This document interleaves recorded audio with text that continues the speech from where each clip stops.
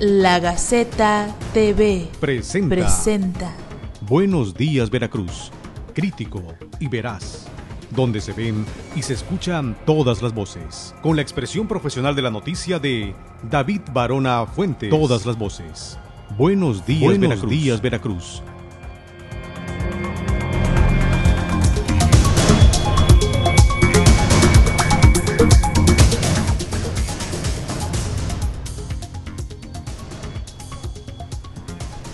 Buenos días, Veracruz. Estimados y finos amigos, les habla su amigo y servidor David Barona Fuentes. Le informo a usted que estamos transmitiendo en vivo, como es la costumbre nuestra, todos los miércoles de cada semana desde la ciudad de Jalapa, la capital del estado de Veracruz, México, para el mundo entero, a través de www.lagaceta.org. Porque esta es la Gaceta TV donde se ven y se escuchan todas las voces. Síganos ustedes, estamos en las redes sociales, a través de Facebook La Gaceta y a través de Twitter arroba Gaceta Tele. Ahí estamos muy pendientes para la orden, para lo que usted quiera, ordene y mande. Eh, pregúntenos, escríbanos, díganos qué quiere que nosotros aquí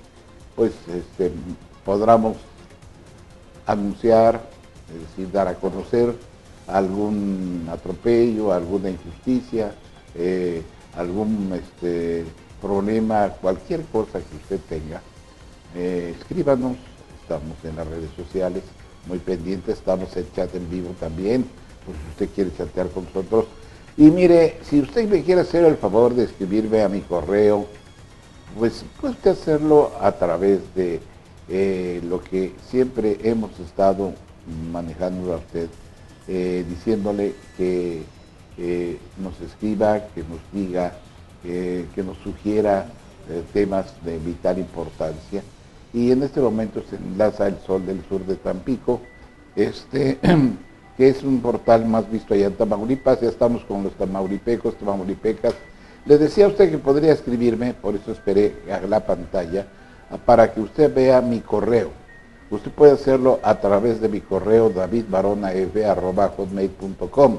Ahí estoy recibiendo muchas eh, eh, comunicaciones, cartas, sugerencias, eh, y a todas les doy puntual respuesta. Muchas gracias porque hemos recibido reportes de distintas partes de la República, de distintos municipios, de distintos lugares del país que navegan con nosotros y también del extranjero. Muchas gracias a todos ustedes. Y hoy esta mañana pues vamos a iniciarnos como es la costumbre nuestra tratando de seguir darle seguimiento allá en Baja California con el periodista Miguel Rojas Salazar, que es uno de los reporteros mejor informados, un reportero investigador, serio sobre todo, y además pues un agente vertical. Hoy nos va a decir que la dirigencia de Beltrones en Baja California, control remoto, sus representantes sin liderazgo en el Estado 29. Le estamos dando seguimiento a aquel personaje que dijo que, que iba a estar muy cerca del presidente de la República, que iba a estar muy cerquita de él. Y pues si usted quiere saber la verdad, cuántas veces lo ha recibido el presidente desde que tomó posesión, dos ocasiones. Y las dos ocasiones solamente cinco minutos. Esa es la cercanía muy cerquita que habla, o habló, mejor dicho, eh, don Manlio Fabio Beltrones, que yo lo veo mucho, muy este, débil ahí en, en el liderazgo del partido, del PRI nacional. Lo veo eh, muchas veces dando bandazos por otros lados, agarrando temas que no, no, no van con los tiempos, pero bueno, pues él obedece a ciertos lineamientos a ciertos intereses, pero muy ajenos totalmente a veces a lo que se establece la política nacional. Eh, voy a hablar ahorita con Miguel, a ver qué nos dice allá en Baja California, cómo anda el señor Beltrones. Miguel Rojas, muy buenos días. ¿Qué tal, maestro David Barona?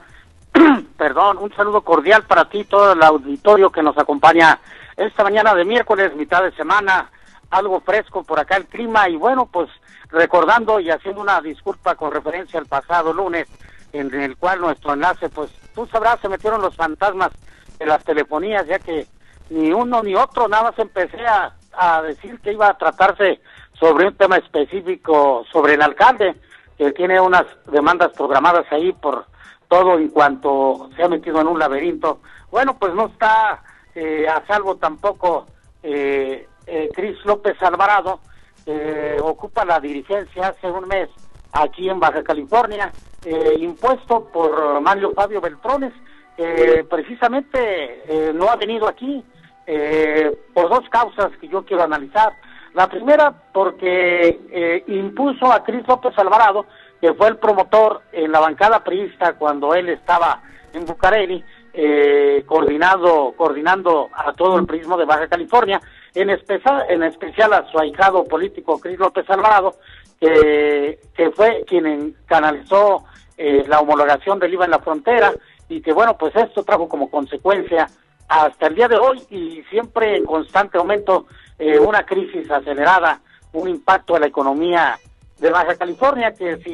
en estos lares eh, se entiende como un calentamiento económico, como ya en preludio del 2016, de lo cual estaremos pendientes de ir sobre el gasto público, eh, sobre la catástrofe financiera que se anuncia. Bueno, eh, por lo pronto aquí en Baja California, uno de los promotores de esta cuestión, pues eh, fue Cris López Alvarado, que fue impuesto a control remoto por Mario Fabio Beltrones, a lo cual nosotros dimos puntual seguimiento desde su nacimiento hasta su arribo a la dirigencia local, ya como dirigente aquí, Cris López Alvarado, que fue abucheado y que es eh, no es el hijo pródigo, porque aquí realmente eh, está rechazado con un margen del 99% por los baja californianos, incluso del propio partido, lo cual yo sí eh, lo comenté en su momento, pues los periodistas están ahí sonrientes, pero con una sonrisa impostada, eh, realmente son tartufos de un puesto al que todos eh, querían o pretendían merecer, menos eh, a Cris López Alvarado. Y esta cuestión eh, es muy importante señalarla porque sin mando no tiene realmente Cris López, no es una dirigencia que él esté conformando desde las bases, desde la estructura militante, ya que pues primero se da la imposición de él ante el rechazo inclusive de los priistas como eh, subrayo y después él nombra eh, a Ariel Izárraga Montero del cual un año atrás, digo desde el 2012 nosotros habíamos señalado que estaba ahí en una averiguación previa y que fue demandado por violar eh, o por tener eh, cuestiones amorosas con una menor de edad. Bueno, este es el PRI que a distancia sigue manejando eh, Mario Fabio Beltrones, al cual yo quiero eh, puntualizar, eh, él está operando a través de todo el costoso de los riesgos que hacen cada error. Tú sabes que en la política no debe haber errores, porque un error trae como consecuencia una derrota y un expansionismo como catástrofe en ese en esa secuencia que repercute al interior del PRI pues aquí Mario Fabio Beltrones tiene un total desorden, ya que yo lo veo como más bien un autopromotor, uno, él está operando eh, a través del Comité Ejecutivo Nacional del PRI sus aspiraciones políticas al 2018, esto es lo que veo yo en el fondo, y por supuesto eh, esta cuestión de él estar lejos de Baja California, eh, de por sí deteriorada, con eh, una, una crisis política del propio partido eh, y con este sentido o este sentir de ausencia del beltronismo, pues está dando tumbos aquí, eh, Beltrones cada vez que presume que va a venir, ya llevamos eh, un buen tiempo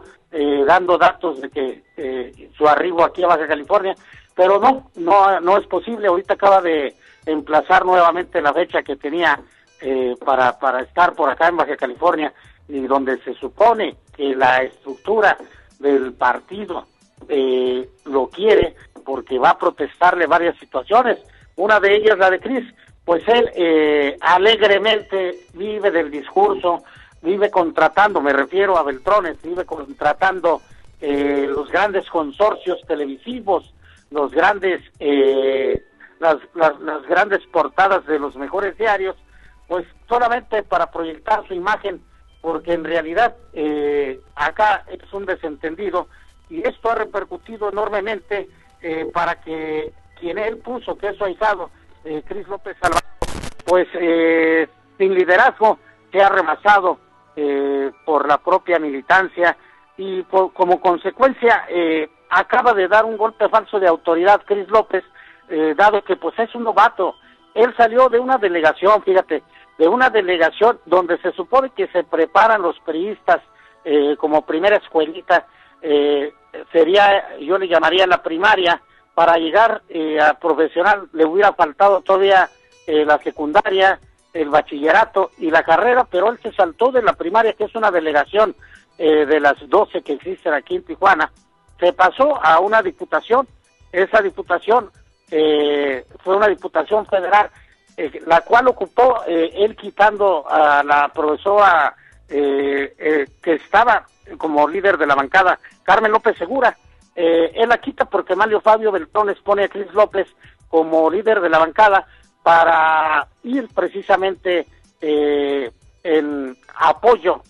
proactivo de la homologación del IVA en Baja California, lo que finalmente ocurrió y de lo cual pues ya hemos avisado, obtuvieron un jugoso premio por un millón de pesos cada uno de esos diputados. Bueno, pues ahora eh, Cris López, después de, de irse directamente eh, de, la, de la primaria a la, profesionalismo, ya con la diputación que le entregaron con, siendo una curul eh, eh, porcentual la que obtuvo él.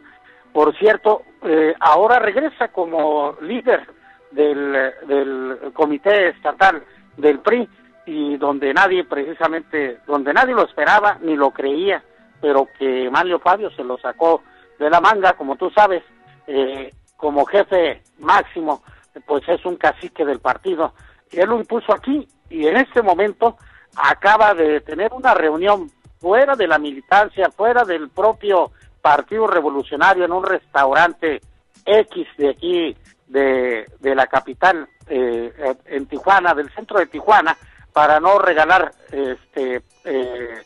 eh, mensajes comerciales y no recibir por ahí algún regaño tuyo, maestro. Pues se sube en un restaurante muy conocido y en ese restaurante eh, pues él se ve rebasado y en un intento muy desesperado reúne a los candidatos a, a diputados, incluyendo a otros que no, que no figuraban eh, ya dentro de las campañas que se han iniciado, aunque sean al margen eh, de, la oficialidad eh, del INE, bueno, pues ya nosotros hemos dado a conocer quiénes son los candidatos del PRI y señalábamos que solamente eran dos, en este caso René Mendívil, que es diputado eh, local,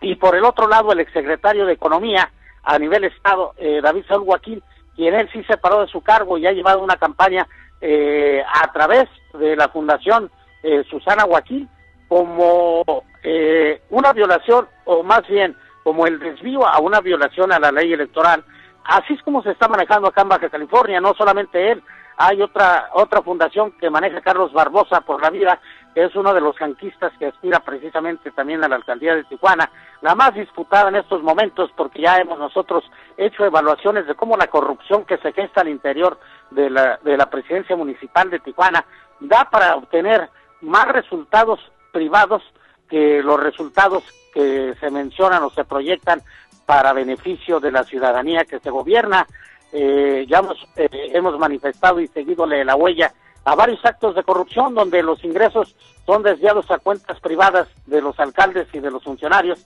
y la ciudadanía pues se encarga de endosar los los los pasivos. Realmente algo algo muy muy catastrófico lo que se vive aquí. Pues esta reunión eh, fuera de, de consenso fuera de la unificación del prismo eh, que hace Jaime Cris López Alvarado, pues invita a Carmen López Segura, a Mario Escobedo Cariñán, que es eh, ni más ni menos su suegro, eh, Mario eh, Escobedo Cariñán, es un empresario que ha estado ligado a la Cámara Nacional de Comercio, aquí que ha tenido varios puestos, eh, pero como es eh, suegro de Jaime Cris, pues ya lo están eh, poniendo en un nivel de posibilidades para contender también como candidato a la alcaldía. Eso sí, ni Carmen López Segura, ni Mario Escobedo Cariñán, que estuvieron en esta cita, ni Carlos Jiménez Ruiz,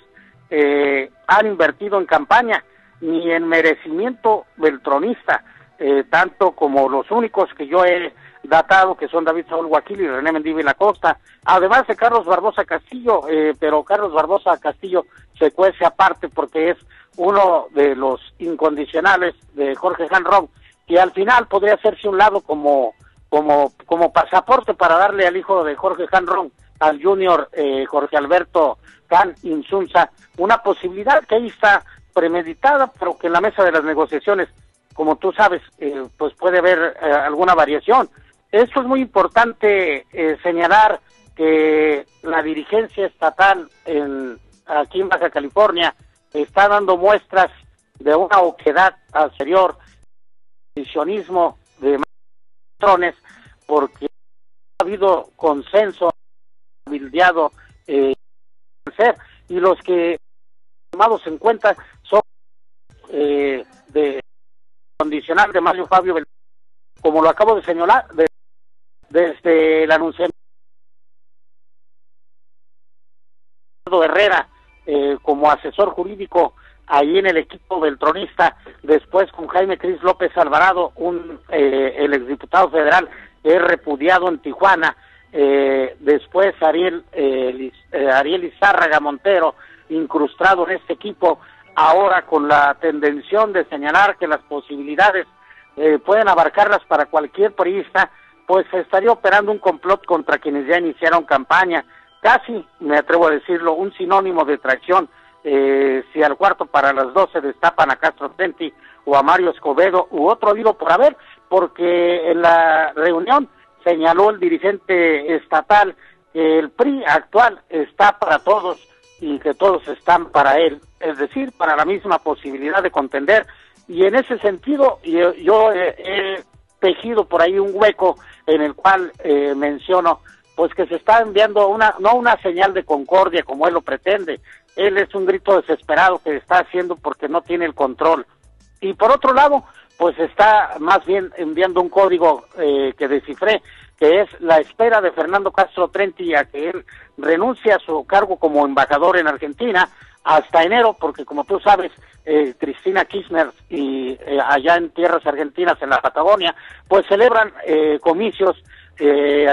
en la primera semana de enero y Castro Trenti con su interrelación allí en, eh, con Cristina Kirchner, pues eh, pretende terminar ahí, renunciar a ese cargo y venirse a ver si hay alguna posibilidad, una posibilidad que le está manejando Cris López Alvarado y que esto pues eh, yo entiendo como una señal de que espérense todos, todos están incluidos, pero hasta enero nos vemos. Así es que esta es la situación, una situación que no deja de evidenciar cómo hay un total descontrol en la dirigencia estatal,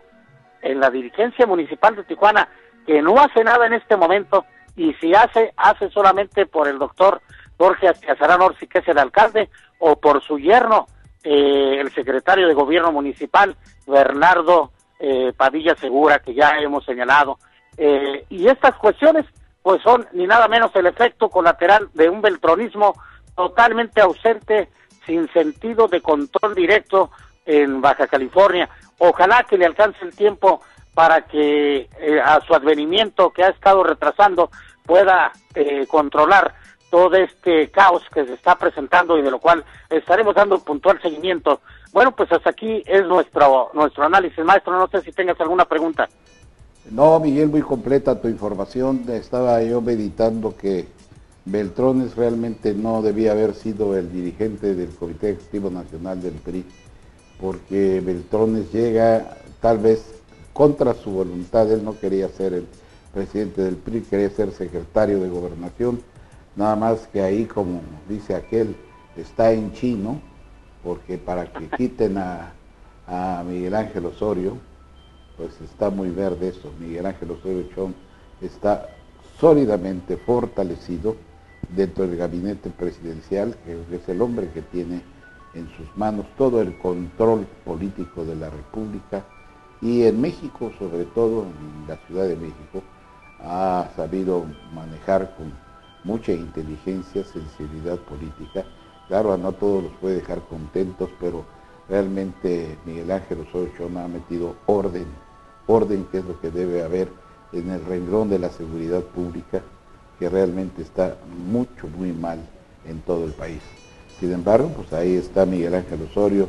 en el que pues Beltrones quería su puesto, imagínense ustedes a Beltrones como secretario de Gobernación,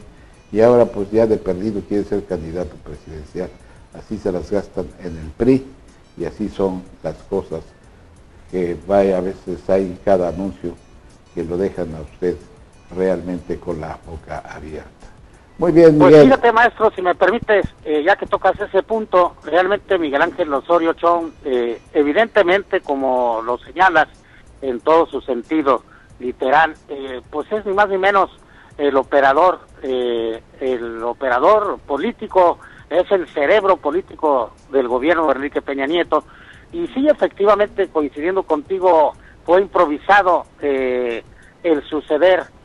a la dirigencia estatal del priismo a Mario Fabio Beltrones, quien desde ahí pues está creando la campaña, como yo refiero, una campaña eh, presidencialista, pero que en cualquier momento Miguel Ángel Osorio Chong pues podría, podría cambiarle o revirarle ese sentido. El caso de eh, muy específico de Colima, donde hubo una disputa entre el, el videgarayismo eh, con el candidato que él pretendía y que lo quitaron y con el otro del gobernador, pues debe de remitirle eh, a Mario Fabio Beltrones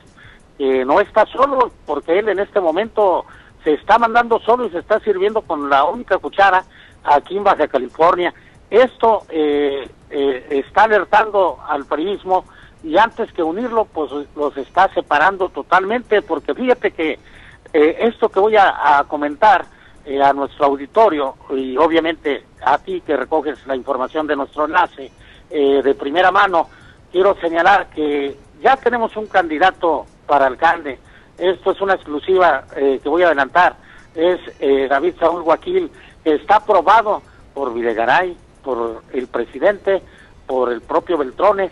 pero que le falta solamente la convocatoria maestra, que es precisamente del hombre que acabas de mencionar, Miguel Ángel Osorio Chong. Con esta cuestión, pues estamos nosotros esperando que pudiera haber alguna variable, por eso todavía no, no lo señalo, pero de antemano te estoy hablando de que ya hay un candidato, por lo cual lo que acabo de eh, mencionar en el análisis de hoy, pues Cris López Alvarado está divagando, puesto que está creando una pantomima del partidismo, eh, siendo que ya en el 90% eh, tiene el pasaporte David Saúl Guaquil, a espera de que Miguel Ángel Osorio Chong se sume a esto o se retracte y pueda tirar esta cuestión. Entonces, eh, todo el resto del programa que está manejando eh, Cris López Alvarado, pues simplemente es una falacia, es la integración de, pues, de más de lo mismo, queriendo eh, dar un golpe de autoridad, de proyectar su imagen, que no le va. No le va precisamente porque este candidato que menciono, que ya está eh, casi totalmente del otro lado, y que salvo alguna eh, algún accidente muy fuerte lo pudieran quitar David Saúl Guaquil, lleva una campaña extensa, lleva una campaña y cuenta con recursos, es el todopoderoso del priismo eh, que no depende ni de Han Ron,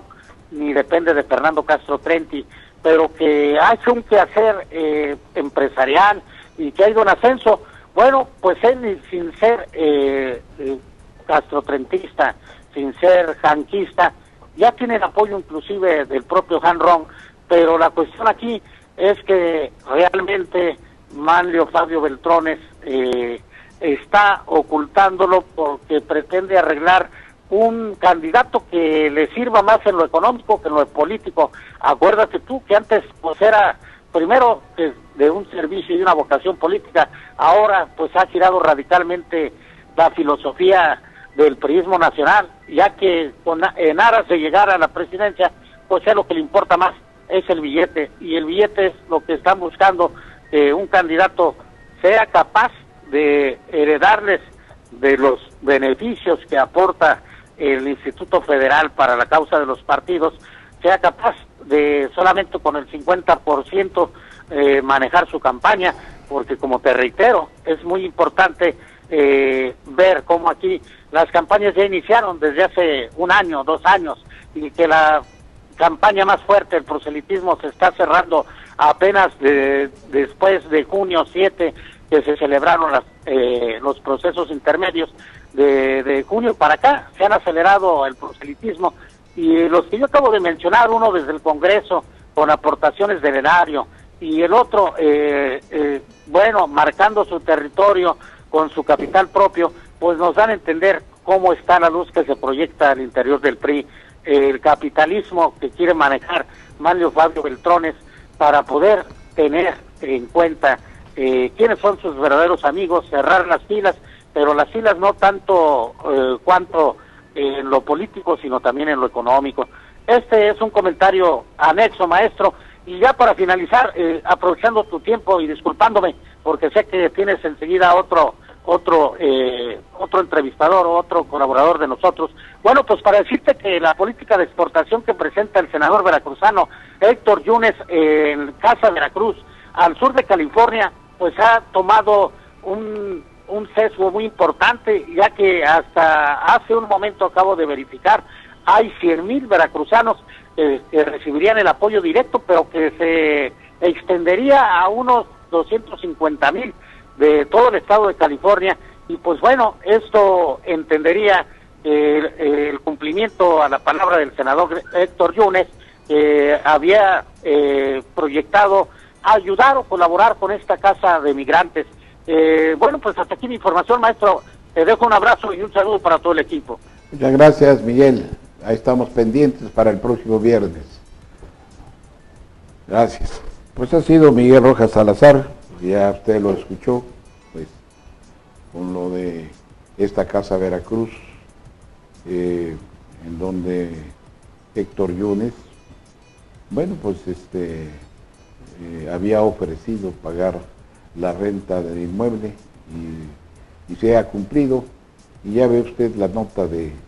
nuestro corresponsal allá en Baja California, muy completa sobre la participación de Héctor Yunes con los migrantes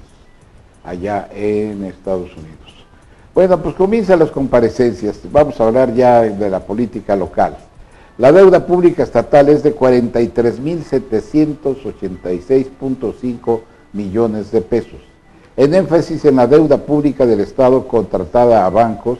la bursatilización y el cupón cero, así como la situación de la Universidad Veracruzana UB y el Instituto de Pensiones del Estado y el retraso de recursos a los municipios, el secretario de Finanzas y Planeación de Veracruz, Antonio Gómez Peregrín, compareció ante los diputados de la 63 legislatura local como parte de la glosa del quinto informe de la Administración Estatal. En el auditorio Sebastián Lerdo de Tejada del Palacio de Gobierno,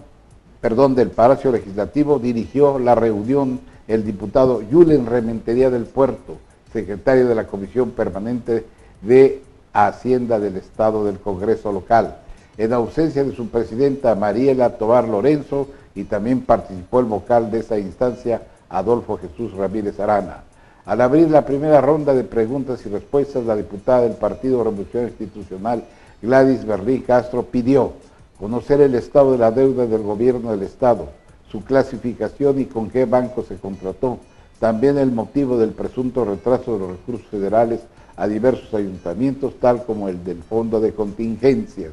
El titular de Cefiplan dijo, y a la fecha la deuda estatal asciende a 43.786.5 millones de pesos, que afecta 79.49% de las participaciones federales que recibe la entidad. Escuchemos pues un fragmento de esta comparecencia donde el titular de la CEFIPLAN contesta a los cuestionamientos sobre las deudas con la V y el IPE, entre otras, Ah, el audio está a cargo de nuestro reportero de guardia, Israel García. Que aportar algunas cosas ellos y nosotros en cuanto a la universidad. Pero lo que sí le dejo muy claro es que el que, el que empezó a hacer estos estudios de costos y diferencias fue la propia Secretaría de Finanzas, porque teníamos que ver y analizar cómo se estaban dando los recursos. El gobernador del estado ya textualmente a mí me, comentó, ya está resuelto, voy a apoyar a la universidad, vamos a dar el dinero a la universidad que corresponde, si es necesario apoyarla con mayores recursos, lo vamos a apoyar, porque reconoce en la universidad y en la rectora la principal institución educativa de nivel superior del país. Entonces, si bien todavía no ajustamos cuentas, estamos ya afortunadamente arreglados. ¿Okay? Nada más falta de ver pesos y centavos. Por cuanto a lo que es parte de pensiones, bueno, el asunto con pensiones también fue un diferendo que se dio dentro de esta, de esta, de esta propia circunstancia. Eh, conforme al artículo 98 de la ley, el Instituto de Pensiones, los patrones tienen la obligación de asumir el costo de las pensiones que les corresponden a sus, asociados o a sus agremiados. Establece puntualmente, dice que el instituto, previo cumplimiento de la normatividad aplicable, podrá ordenar se detengan de las participaciones federales o de los recursos que les correspondan la cantidad estimada como base de la cantidad mayor reportada en el último año del reporte, eso lo maneja el artículo 24. Pero el artículo 98 establece que de darse el caso de que los recursos del instituto no bastaren para cumplir con las obligaciones a su cargo establecidas por esta ley, el déficit será cubierto por los patrones en la proporción que a cada uno corresponda previa a la celebración de convenios especiales. Y, después, punto y seguido, el gobierno del Estado será responsable solidario del cumplimiento de esta obligación. En base a este artículo, eh, nosotros, bueno, no nosotros, perdón, el Instituto de Pensiones, estoy hablando porque le corresponde al Instituto de Pensiones, estableció también en en esto que estamos revisando eh, el costo de las, de las pensiones de los maestros de la universidad, el costo de las aportaciones que tienen los trabajadores de la universidad con el costo de las pensiones que se pagan, no alcanzan a satisfacer. Y se genera una diferencia también del orden muy importante también de alrededor de los 2 mil millones de pesos. Entonces, ese diferendo también surgió ahí. Sin embargo, quiero decirle que como lo, lo expresé en la comparecencia, el gobierno del Estado ha venido asumiendo esa obligación solidaria de pagar. Y tenés así que hemos pagado, con excepción de una vez que nos faltaron de pagar a 254 personas ahí por una falta de coordinación entre pensiones y finanzas y que hubo un gran problema eh, hubo ahí la manifestación y todo, y que tenían razón, porque eran 254 de 26 mil, pero tenían razón porque no habían cobrado. Con excepción de esa vez, hemos venido pagando puntualmente a todos los trabajadores. Y el gobernador del estado, en la facultad que tiene que la propia ley establece, asumió ya la obligación como solidario responsable frente a la Universidad de Veracruzana, porque además ya se ha pagado, ya se pagó, ya está entregado el recurso. Pero no solamente eso, sino que va, tenemos la obligación legal, la obligación moral, fundamentalmente legal, de seguir aportando el subsidio a la Universidad de Veracruzana entonces, por eso le puedo decir también hoy que no, está contemplado el proceso de fin de año, que está contemplado dentro de, las aportaciones que tiene que dar el gobierno del Estado a la universidad, el recurso suficiente y necesario para cumplir con todas las prestaciones de los trabajadores universitarios, inclusive de la clase. No hay duda de que se cumplirá con todas las prestaciones. Eso es por contraste a, a las preguntas que pues ha sido una serie de cuestionamientos que se le hicieron al secretario de Finanzas, Antonio Gómez Peregrín, que en este momento se encuentra en la Ciudad de México, en la Secretaría de Hacienda, pues siguiéndole la ruta a buscar los recursos económicos para traerlos a Veracruz. En este momento me comuniqué con él para preguntar cómo van las cosas. Me dice que sigue en México, que ahorita está en la Secretaría de Hacienda haciendo pues todo lo que tiene que llevar a cabo para poder cerrar la pinza y traer recursos frescos a Veracruz, de alguna u otra manera tiene que haber liquidez para pagar a, pues, a todos los requerimientos de todos los proveedores y de todas las gentes que reclaman pagos. Y es necesario que, pues si Javier Duarte dice que Veracruz ya cambió, pues entonces empiecen cambiando, cumpliendo con los pagos correspondientes pues que se han retrasado en una forma inexorable y ahí usted ve que las cosas y los reclamos son de todos los días. Pero Gómez Peregrín está en la Secretaría de Hacienda en este momento, está haciendo ya todo lo que pudiera hacer para traerle algunas buenas noticias. Mientras tanto, en otra noticia, jugadoras del rugby, dignas merecedoras del Premio Estatal del Deporte por Equipo. Este año presentó para las jugadoras veracruzanas del Rugby 7 de la categoría sub-20 su consolidación en esta disciplina, pues fueron distinguidas con el Premio Estatal del Deporte por Equipo. las jóvenes hicieron historia en la Olimpiada Nacional de Monterrey tras conseguir la medalla dorada, primera en la historia de este deporte para Veracruz.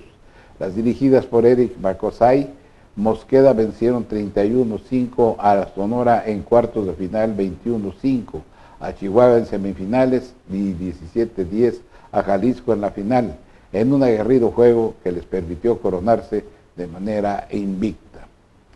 Y bueno, pues siguen las, siguen los, las ejecuciones, se siguen hallando fosas y cuerpos. Bueno, pues hayan cinco ejecutados en Puente Nacional, cinco cuerpos sin vida que presentaban huellas de tortura fueron encontrados en el kilómetro 72 de la carretera Puente Nacional Paso de Ovejas a la altura del rancho El Angostillo, personal del Ministerio Público tomó en conocimiento del hallazgo. Nos informa Grillo Nautas.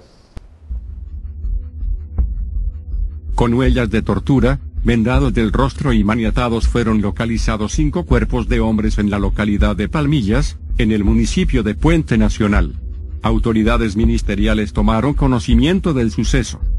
Tras un reporte anónimo al canal de emergencias 066, elementos de la Policía Municipal de Totutla hallaron los cadáveres de cinco personas del sexo masculino en el kilómetro 72 de la carretera Puente Nacional, paso de ovejas a la altura del rancho El Langostillo. Justo en el tramo Conejos Totutla, los policías acordonaron la zona tras localizar en medio de la maleza a los varones quienes representaban en vida entre los 25 y 40 años todos semidesnudos y con golpes en la mayor parte del cuerpo. Rápidamente arribaron elementos de la Policía Municipal de Totutla, quienes buscaron por la zona hasta hallar los cuerpos y solicitar la presencia de autoridades competentes, mientras tanto acordonaron el área. En minutos el lugar se vio rodeado por elementos de la Policía Estatal, Ministerial, así como del Ministerio Público de Cardel y peritos criminalistas, quienes realizaron las diligencias correspondientes.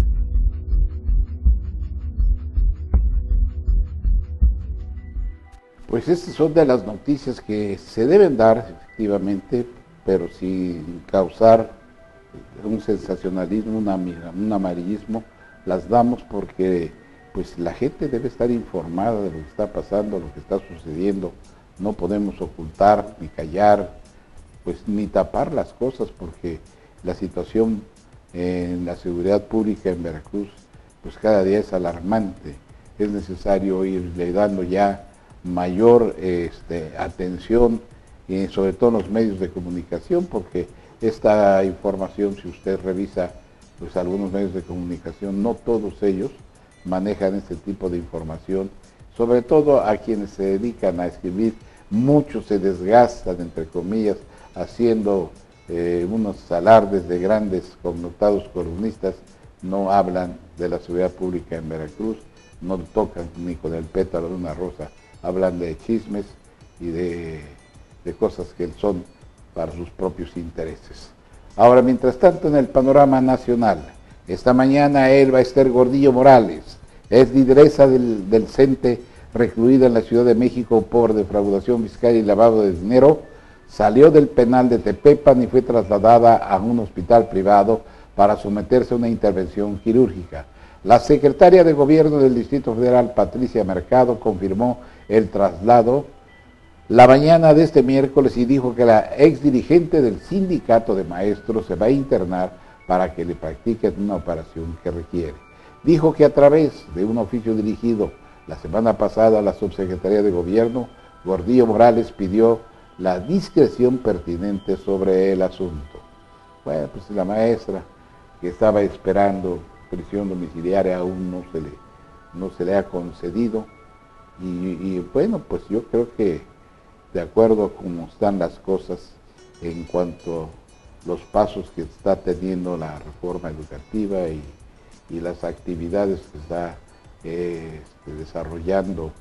eh, Aurelio Nuño como secretario de Secretaría de Educación Pública,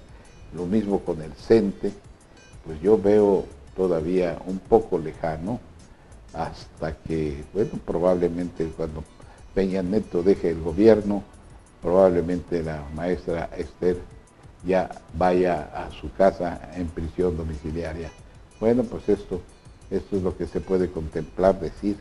Pues la maestra ha llevado una lucha muy grande, legal sobre todo, pues este, sobre ha llovido amparos tras amparos y gruesos son los expedientes que se han, se han estado manejando y, y el abogado de la maestra Esther Esther Gordillo, pues ha hecho todo lo que tiene que hacer, pero como esto es un problema que está de por medio del Estado, pues yo no veo que el Bester primero logre su libertad, o segunda, que le vaya bien y que pudiera tener la prisión domiciliaria. El Bester Gordillo va a, poder, va a tener que seguir en prisión hasta tanto cuanto termine el gobierno de Peña Nieto, así se contemplan las cosas, así se han manejado con los presos políticos, así se han hecho entre otros casos muy sonados, y bueno, pues este, ahí tiene usted, esto, esto no es cuestión de, hacerle al mago ni a la adivinanza, es ver la cruda realidad. Ahora quiere ver usted cómo va a tratar el clima. El paso del Frente Frío número 13 por la región incrementará el potencial de lluvias. El Frente Frío número 13 se ubica esta mañana sobre el norte de Veracruz, pero veamos el panorama del tiempo a cargo de la Comisión Nacional del Agua.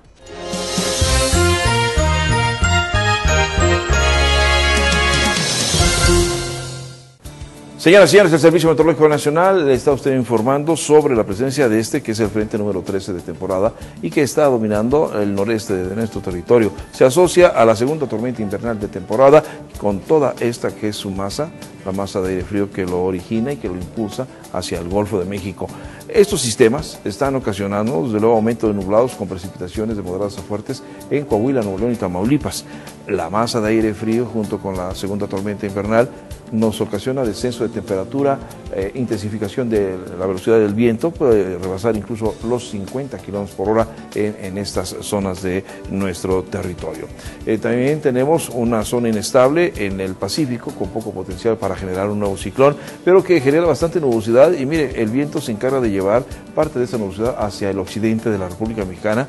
que también llega a cubrir parte del sur, todo el centro, el oriente y que por ahí esperaremos alguna precipitación que va de ligera a ocasionalmente moderada. Del Pacífico también al sureste, del Mar Caribe a la península de Yucatán, algunas precipitaciones muy dispersas para las próximas horas en estas dos regiones. En cuanto, en cuanto a su desplazamiento, ve usted, se escurre sobre lo que es el litoral del Golfo de México, la masa de aire frío va llevando, va llevando parte de esas temperaturas ligeramente bajas hacia el centro de nuestro territorio. Esperaremos que esta eh, condición, pues en lo que es estrictamente el jueves, estará dominando todo lo que es el centro, el sureste y la península de Yucatán. La Gaceta TV.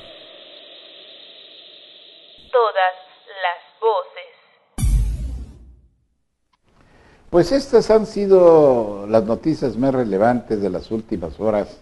No se vaya usted, nosotros seguimos con el dedo en el renglón sobre la sucesión gubernamental de los dos años. Le voy a decir a usted cómo andan las cosas, bueno, a nuestro punto de vista muy personal, y usted sacará sus conclusiones. No se vaya usted, yo regreso en un minuto. La Gaceta TV. TV todas